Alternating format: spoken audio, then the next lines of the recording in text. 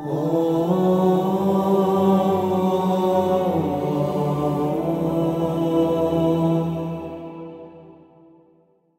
الله الرحمن الرحيم واذ قال موسى لقومه ان الله يامركم ان تذبحوا بقره قالوا اتتخذنا هزوا قال اعوذ بالله ان اكون من الجاهلين تستمر الآيات التالية في بيان أسباب انحراف بني إسرائيل ومنها اللجاج والتمرد على الأحكام الشرعية.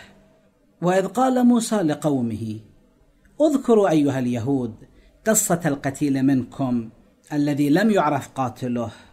هذه القصة حسب المذكور في الروايات أنهم وجدوا قتيلا لم يعرفوا قاتله وسبب قتل هذا الإنسان أن امرأة حسناء ذات جمال وخلق كامل وفضل بارع ونسب شريف وستر ثخين كثر خطابها وكان لها بنو أعمام ثلاثة فرضيت بأفضلهم علما وأثخنهم سترا وأرادت التزويج به فاشتد حسد ابني عمه الآخرين له وغبطاه عليها لإيثارها من آثرته. فعمد إلى ابن عمها المرضي فأخذاه إلى دعوتهما ثم قتلاه وحملاه إلى محلة تشتمل على أكبر قبيلة من بني إسرائيل. فألقياه بين أظهرهم ليلا فلما أصبحوا وجدوا القتيل هناك فعرف حاله فجاء ابن عمه القاتلان فمزقا ثيابهما على أنفسهما وحثيا التراب على رؤوسهما واستعديا عليهم فأحضرهم موسى عليه السلام وسألهم فأنكروا أن يكونوا قتلوه أو علموا قاتله.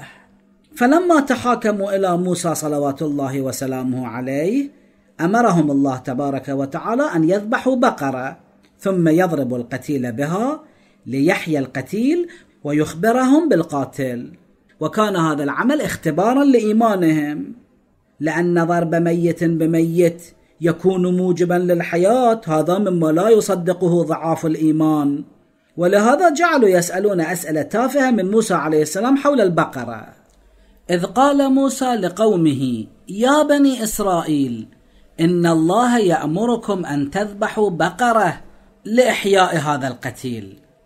لكنهم تمردوا أمام أمر الله تبارك وتعالى. فماذا قالوا لموسى؟ قالوا أتتخذنا هزوا. هل تسخر منا؟ هل تتخذنا سخرية؟ شنو الرابط بين القتيل وبين ذبح البقرة؟ هل تكون البقرة الميتة سببا لإحياء القتيل؟ فأجابهم موسى صلوات الله وسلامه عليه قال أعوذ بالله. يعني ألتجئ إلى الله. الاستعاذة بالله يعني الالتجاء إلى الله من الشرور.